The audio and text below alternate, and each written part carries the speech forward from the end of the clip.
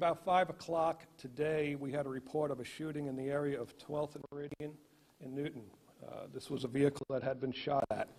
As uh, officers were responding to that, we had further reports coming in of a shooting at Meridian and Hesston Road. As other officers were responding to that, we had a report of an active shooter inside Excel here in Hesston. Right now, as of now, uh, there's a lot of things going on.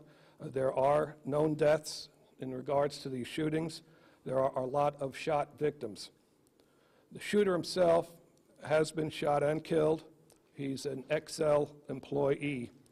Uh, There are numerous crime scenes involved here. Uh, We have a team of KBI coming in. I have the FBI coming in.